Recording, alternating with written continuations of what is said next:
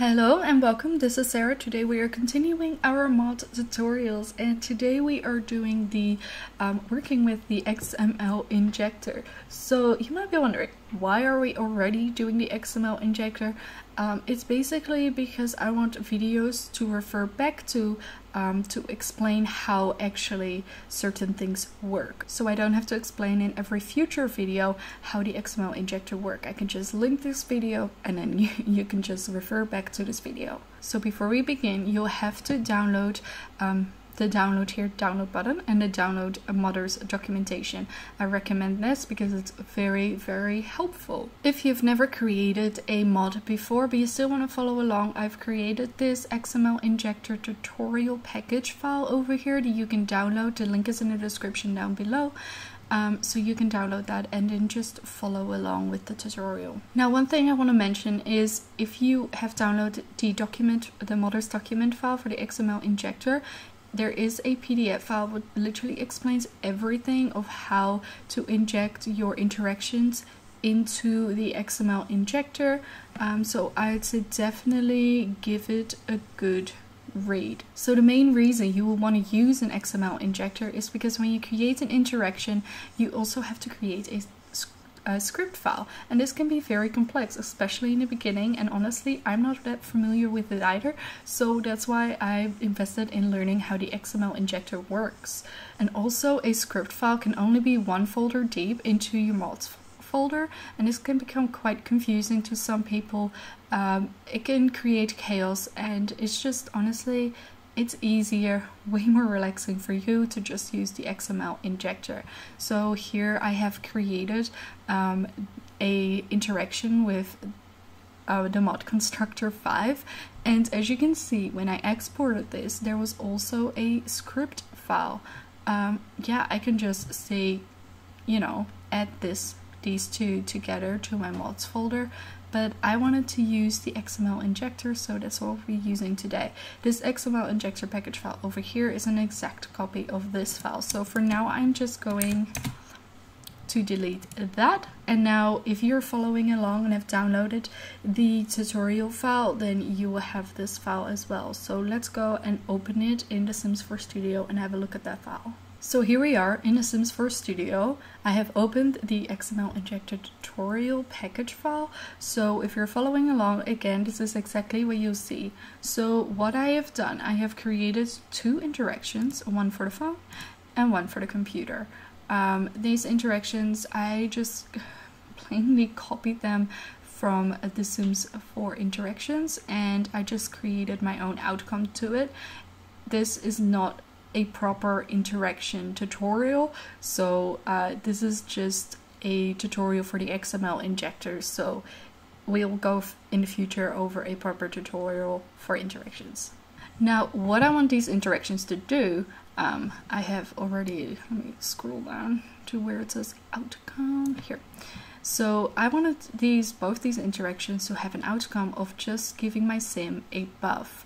And the buff that I've created is over here. I'm not gonna go over how to create buffs. There will be another tutorial, most likely the next tutorial of how to create your own buffs. And then I do recommend keeping this file so you can check out if your buff is exactly how you want your buff to be. So now we're gonna go and add these two interactions into the XML injector. So first of all, what we need to do is we need to open the hash generator. And then for the hash generator, we're gonna create a new card. So just type in um, your creator name, in my case it's XOSDR, and then I'm doing a underscore, and I'm gonna say XML injector underscore phone because I'm gonna start with the phone. so I'm gonna download the FNV64 and copy that. Sorry, I meant copy, not download. I'm gonna close that. We're gonna open here, um, click on add, and then we're gonna create a new snippet. And in the instance, we're gonna paste what we just copied. I'm gonna click OK. And now we have created a snippet tuning file that is still completely empty. So the snippet for creating the interaction to the phone um, is very, very simple. So here I'm just gonna, honestly, yes, I'm just gonna go and copy this over here in the um, injector mod documentation for the XML injector. So here it has add interactions to phone. So I'm gonna go and copy exactly what we're seeing here. Then I'm gonna paste it over here. Now what we have to do next to make sure that this interaction works with the XML injector is we're gonna go into data over here. So if you've just copied this and pasted as well, I'm gonna go and click here and say copy. These are the numbers that we have just created before. I'm gonna go over here and then I'm gonna control click and say paste. Now we have our own numbers.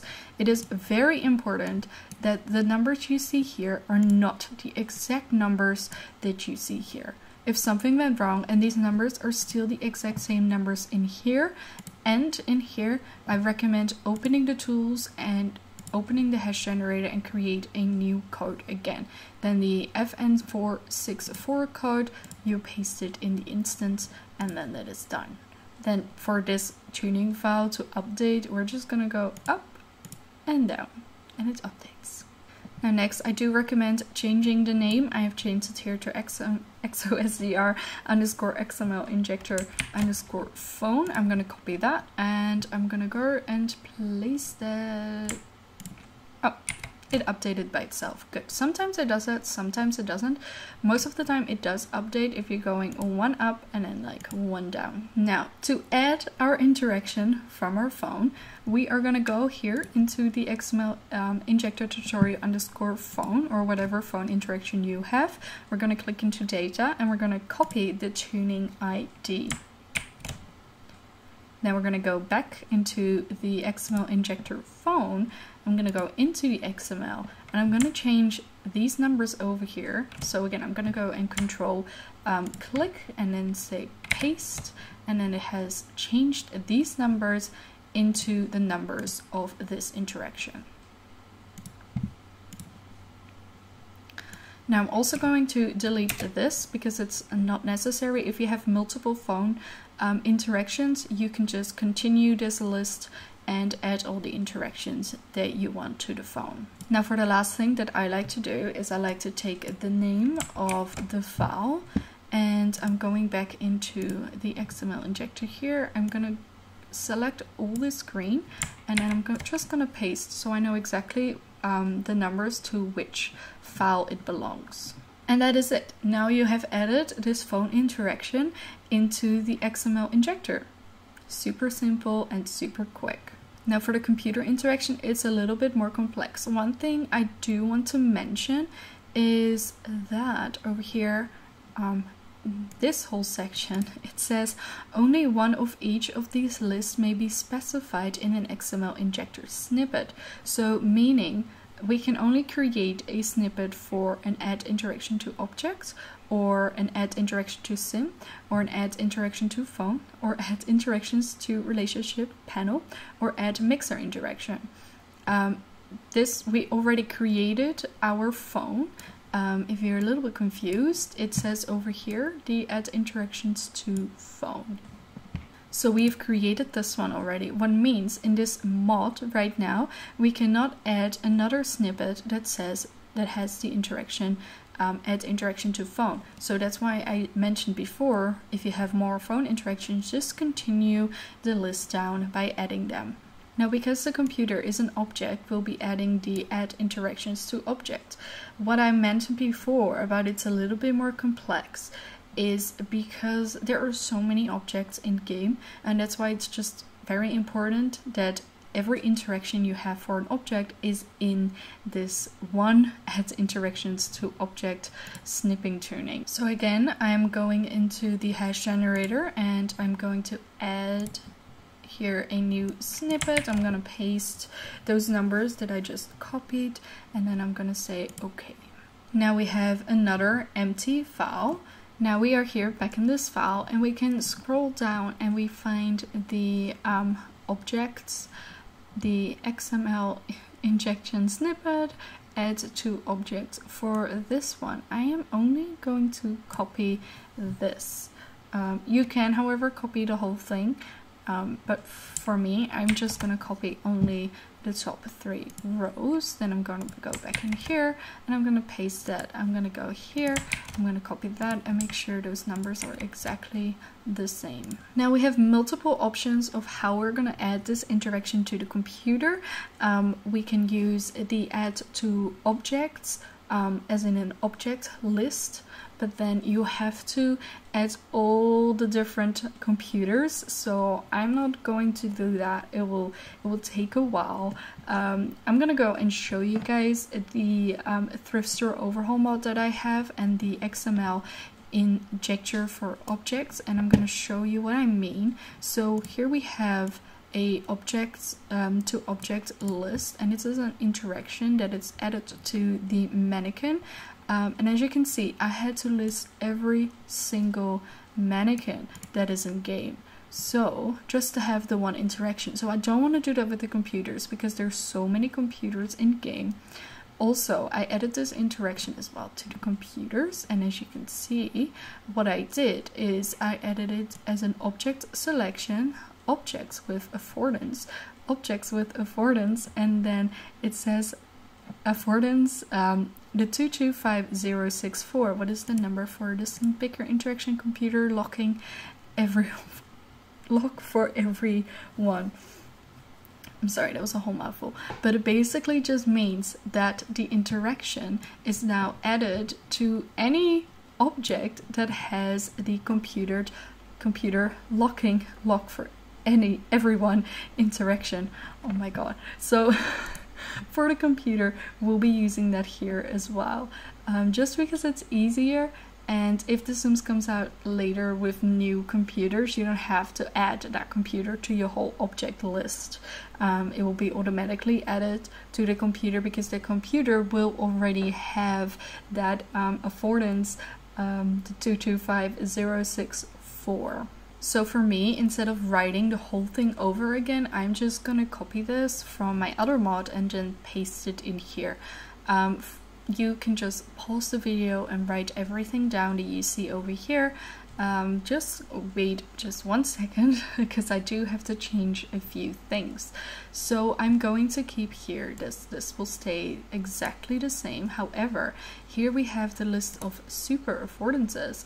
And in this list we will um, add the exo str xml injector tutorial computer file. So we're going in here and we're gonna copy that. Go back in here paste it in there. I'm gonna go back in and then I'm gonna copy that one, go back and paste. So now what I've done is I've added the computer interaction to the um, to any object that now has the 225064 added to affordance to that object what is the computer locking lock for everyone um, it might still be a little bit confusing, but basically any computer has this affordance added to it, so that's why we are just doing it this way, like I've mentioned before. Now it's also important, we're gonna change the name to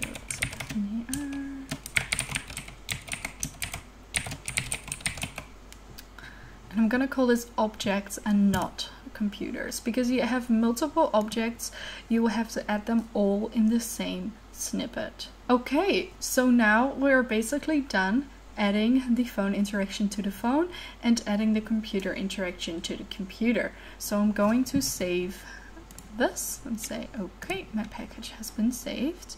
Then we are gonna go into here into where you wherever you left your um, the download or your mod. So I'm gonna say and copy that. Um, I don't drag it in because I leave the Sims 4 Studios open. And if I'm gonna continue editing it it also needs to stay in the place that you left it if that makes sense and now I'm just gonna go and paste it into the electronics The Sims 4 mods folder I make sure I have the XML injector installed as well and now I'm gonna go and close this I'm gonna make this smaller and I'm gonna go in here and open The Sims 4. So here we are in game with Lana Winter. Um, and we're gonna go and test our interaction that we created. So I'm gonna click on the computer. Um, for this interaction, it is in households. So I'm gonna go in there. I'm gonna say more, and then here we see the XML injector tutorial. That's how this interaction is named. So I'm gonna click on that, and now she's gonna go and do the interaction. I'm gonna fast forward. It takes a while. Yes, so here we are and here we see the mod creator from mod tutorial. Lana knows she created this mod correctly because this buff is now showing. So that's the quick buff that I created and now I know it works perfectly. So yeah, that is the computer interaction. So I have removed the buff and now we're gonna go and look into the phone interaction so the reason I've removed the buff is because if your sim already has that buff, they are not gaining that buff again. Um, that's the settings that I've set for it. So the other one is in home and then it is here XML injector tutorial. Make sure you click the tutorial and not the test. I know it might be quite confusing, but it is the tutorial. So I'm gonna click on that. And now she's gonna go and grab her phone, look on her phone, and then she's gonna get the buff. And there it is, mod creator for mod tutorial. Lana knows she created this mod correctly because this buff is now showing. And that's it, it's so simple, the XML injector. I know it can be quite confusing.